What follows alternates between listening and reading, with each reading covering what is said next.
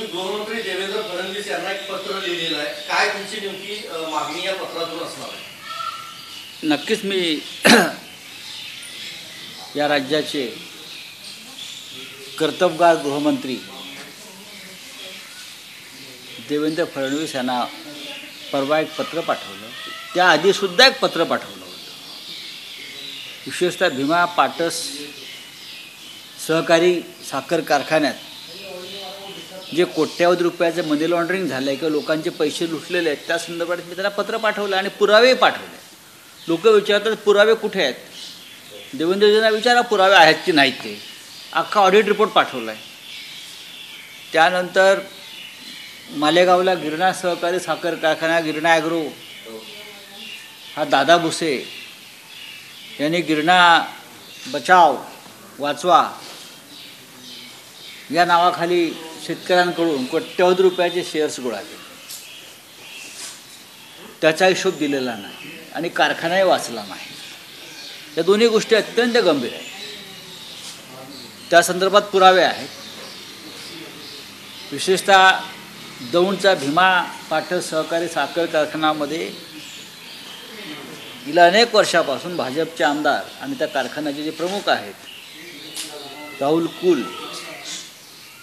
हे भाज भाजपचे आमदार आहेत. फडणवीस यांची उजवे हात आहेत असं ते सांगतात. आणि आमचं कोण काय वाकडं करणार अशी त्यांची भाषा आहे. गिरणा कारखान्यासंदर्भात आणि भीमा पाटस कारखान्यासंदर्भात मी देवेंद्रजीकडे वेळ मागितलेला आहे गृहमंत्री म्हणून.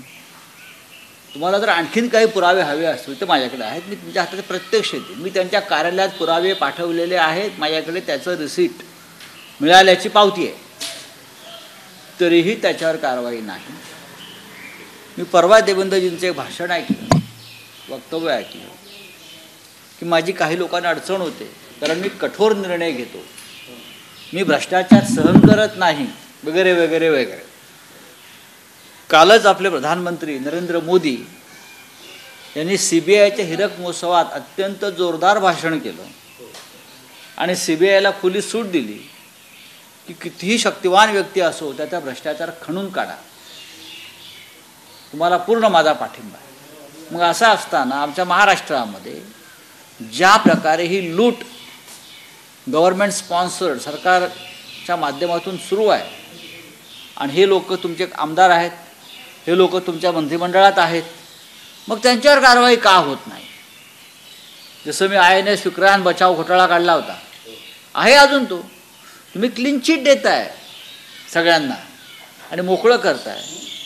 प्रधानमंत्र्यांनी सांगितलं की कोणावरही कारवाई करताना मागे पुढे पाहू नका. म्हणजे फक्त विरोधी पक्षाच्या नेत्यांवर. एबीपी माझा. उघडा डोळे बघा नीट.